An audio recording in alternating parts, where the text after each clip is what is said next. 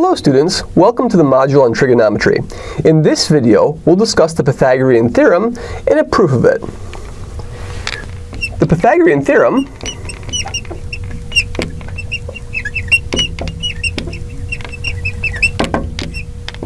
states that for a right triangle,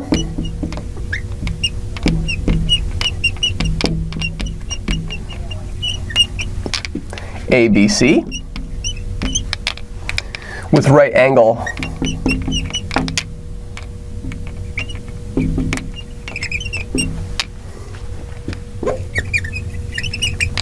C, so the angle C will be 90 degrees, or pi over 2 radians.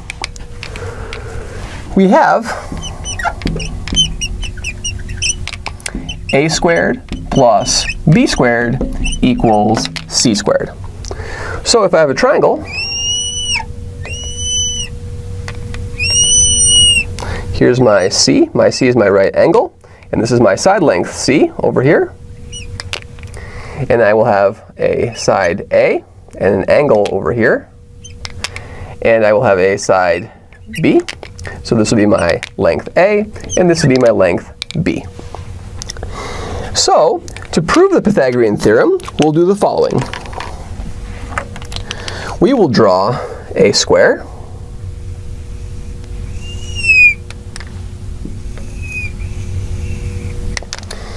And inside this square, we will draw another square.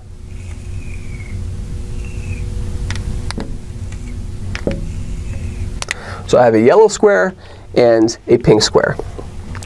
And what we'll see over here is that I will make this a square and this a square as well. So I have lots of right angles.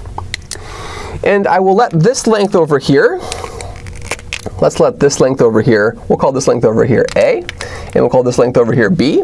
So to form this square, I will take this triangle and put it right over here. So this length over here will be C. Now, whatever this angle is over here, this is a 90 degree angle. So these two angles are complementary to each other. So if this is the angle for my right triangle, so if this is my angle over here that corresponds to A, this has to be complementary to A. So this angle over here, which is the complementary angle to the angle A, must be the angle over here. Which means that this is the angle A. This over here will be the second angle. This will be the angle A the second angle, the angle A, and the second angle. So each of these four triangles is, the, is congruent to this triangle ABC. So we can fill in these values. This will be my value B, my value A, my value B, my value A, my value B, and my value A. So the area of this square, the big square, is a plus b, which is its side length, quantity squared. Now the big square comprises of four triangles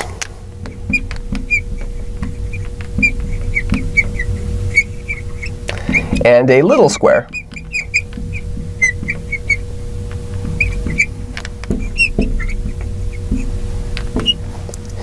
The area of the four triangles is each of them has area 1 half base, which is A, and height, which is B, and there are four of them, plus the area of the little square.